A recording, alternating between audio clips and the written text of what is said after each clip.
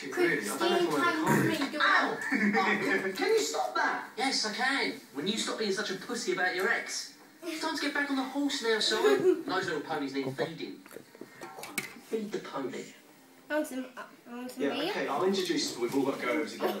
I want Great. some beer. Fucking sad cases. You don't just walk up to a girl in a club and introduce yourself. It's Yeah, creepy. cara, Lots de- of different rules, you dick. Look, you dance over near them, make the eyes. Marco, and then Danny, watch this!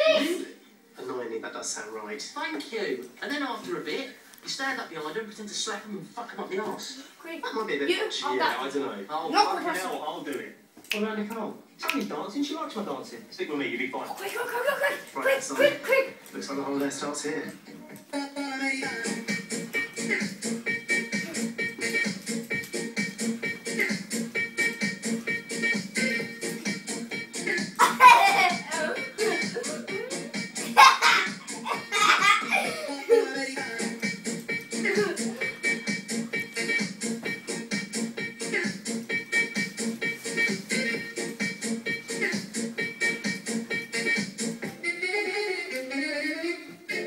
Am I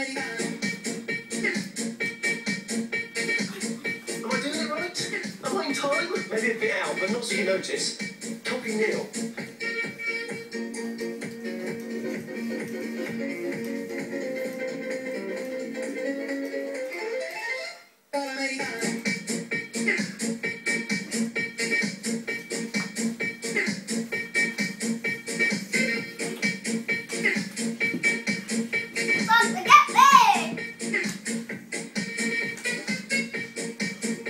Sorry, do you mind if I come and talk to you? Because you look nice, and frankly, this is just humiliating for everyone involved. Um, sit down, Specs. Hello, I'm Lucy. Hi, I'm Diamond. Simon! I'm Simon. I better not get stuck with a fat one.